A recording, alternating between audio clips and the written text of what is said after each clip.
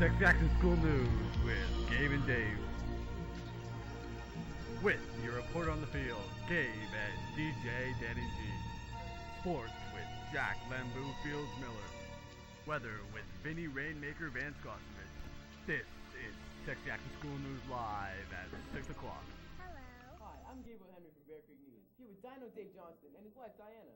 So what do we have in store for us today, Dino? News, Gabe. Lots of news. Lots of news indeed, Dino. We'll kick it off with some news from inside our own school. At Bear Creek Secondary School, there's been many recent altercations with the dress code. Most students seem to be on one end of this argument, where they think that the dress code is too strict. Many argue that attire shows personality and reflects the person, while on the other end, teachers argue that it's inappropriate and unnecessary. Now we have our own Gabriel Henry to bring us the story firsthand. Here at Bear Creek Secondary School, summer weather is approaching us quickly, and along with summer weather comes summer attire. We're here to talk to the kids at Bear Creek about the dress code and what their views are. He's a very nice man, I have to say. Christopher, Christopher, I would like to talk to you about a very serious matter here at Bear Creek, the dress code. What are your thoughts on the dress code? Do you find it too strict or not strict enough? Mm, I think it's kind of. It's not. I mean, it's too strict, I guess. Now, I find a lot of the students here at Bear Creek uh, have the same input on the dress code. And have you found yourself ever violating the dress code, though? No, that's very, very difficult uh, for guys to do. I think the dress code is generally oriented to females wearing spaghetti straps, etc., which personally I don't see anything wrong with it, unless, of course, they're parading around naked, which, again, you know. It's your own preference. I see, I see. And not only just too much skin showing, or some uh, of the teachers would find it too much of like a sexual attire, but what about just even wearing hats inside the school? Apparently, it's to show respect, but I am very capable of wearing a hat and showing respect at the same time. All right, thank you very much. I'm Gabriel Henry, reporting from Bear Creek News. I'm here with Robert Barnes from Bear Creek Secondary School, talking to him about his views on the dress code. What do you think, Rob? I agree with the dress code. We need to cover these people up. Rob, do you think that the teachers here at Bear Creek are enforcing the dress code enough or too much? I do not think they're enforcing us enough. This is a serious issue we have here, man. Like, these kids, like, some of them, they think that they can just wear, like, t-shirts now. It's ridiculous. And then you see people with muscle shirts, like, seriously. So sweaters all the way? Sweaters, all the sweaters, turtlenecks, whatever covers the most, man. If they made clothes that cover your face, that's all I'd wear. Um, I don't usually really care because I'm pretty wholesome, but dance class is an exception. Do you feel Last Thursday, Bear Creek held its own annual Battle of the Bands, where four bands played in front of the student body during fifth period. The four bands that played this year were the Box Social Madness, Red Locker Society, Skeptic, and Madu. Madu played too long, and the Box Social Madness won. Wow, that's very interesting. Something else at Bear Creek uh, seems to be happening. Uh, iPods, they seem to be very popular. And although they be, may be very useful, should they be allowed to be used in school? Many students say they help concentrate during quiet periods, but teachers seem to think they are distracting. Honestly, I believe they help as long as you use them in the right, in the correct time. What do you think, Dave? All right, yeah. Sorry, Uh, what? now we have DJ Danny GMPV with some news on gas prices right after this break.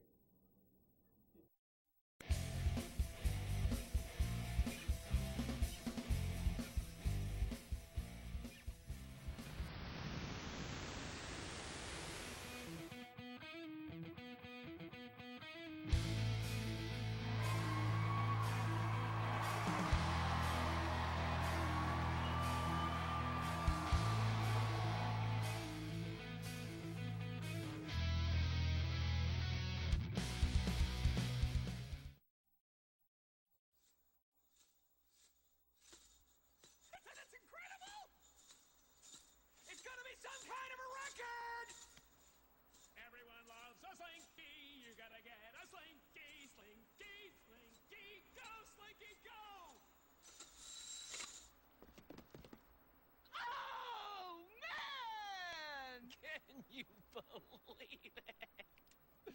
It was right there! Can I do it one more time? Hi, I'm Danny Gardner. I'm your reporter in the field, and we've got all the information on gas prices coming up. As the price of gas rises, many partygoers are expected to stay home. All right, so how do you feel about gas prices? You know, I think about gas prices. Just think about your kids. You know, your kids are not even gonna be able to drive cars because the price is gonna be at like five bucks a liter or something, and it's gonna be like that's nuts. So in like ten years, gas gas like uh, powered vehicles not even gonna exist. That's all I gotta say. So that's the future for us here? Yes, no more gas. That's what's gonna happen. And how do you feel about George Bush? He's gay. Thank you. You're welcome. Feel about the rising of gas prices? Do you like Pepsi or Coke? Mm-hmm, that's nice. Yeah. Pepsi or Coke? Gas prices are expected to stay high all summer. Now, as you can see, many cars are still driving. We take a look up here. We've got this nice black car. I think it's stolen, though. Well, that son of a bitch, I'll get him. We're live on the set of Porno Valley. So how do you feel about the rise of gas prices? Oh, I hate them. They're getting way too high. How has it affected your life? Uh, I can't get to places I need to, like rugby or school. It doesn't work. Pretty good. so, are you interested in taking the public transit? Uh, no. I don't like the people that ride it. So, as you can see, she doesn't like the rising of gas prices, neither do I, those son of a bitches. When we went to interview people, they became so upset and confused they forgot the basic functions of life. In this case, our interviewees dropped their pants in effort to protect themselves from the truth. And as you can see, many people are leaving their cars stranded. Now, we're in a parking lot right now. This nice Pontiac Sunbird looks very crappy, but you can see has no gas in it at all. That sucks. Looks like a nice car for the drive-in, though. Let's take a look. Looks like, yeah, looks nice. See some blankets in there. Looks nice, yeah. All right. No Tweety Bird in the window, though. See some stains on the seat. Looks kind of nasty. Let's move on. Take a look at this car over here.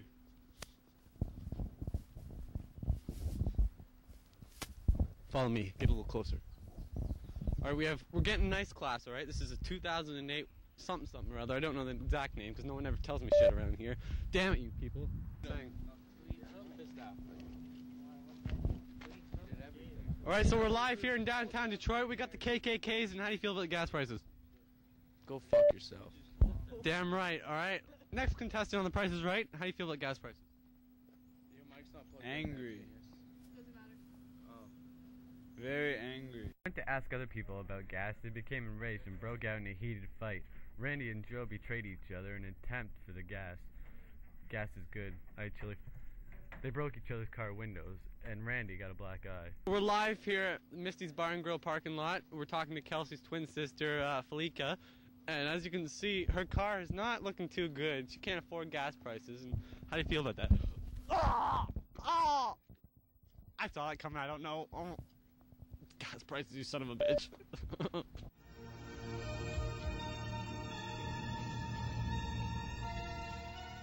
For all you lovely couples going up to the Arctic this weekend, here's a tip from Christopher Walken.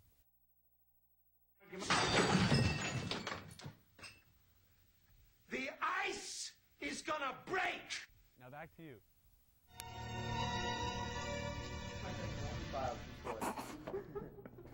Douchebag. Last week, the senior boys rugby team was kicked out of the playoffs, and they traveled to Twin Lakes and suffered a disappointing loss. They tried their hardest, but in the end, it wasn't enough, but, and they lost by just a few points. Another season begins, though, as the senior football team begins training this week with their first exhibition game today at 3:30. This is Lambeau Field signing off. All right, now over to Viney with uh, the weather. Is that even Hi, I'm Vinny Rainmaker Van Skoshevich with all the weather for this week. Let's take a look at our current conditions right now. You can see low, low precipitation rising to the east. And now we're going to take a look at our weekly forecast. So our 10-day forecast, today is going to be cloudy with showers, a high of 30 degrees, winds going to the east, and uh, 10 to 15 miles per hour, 50% chance of rain. For tomorrow, we have cloudy skies, chance of showers, and h- winds of 30 degrees. Thursday, we have a chance of uh, thunderstorms and a high of 70. Saturday, scatter thunderstorms is possible and uh, lows of 60 and 70. All right, and uh, Friday and Saturday we have partially cloudy skies, scattered storms, and uh, low precipitations, and that's all for the weather. This is all the news for today, folks.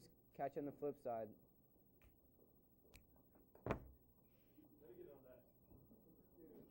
Is, I can't. I can't.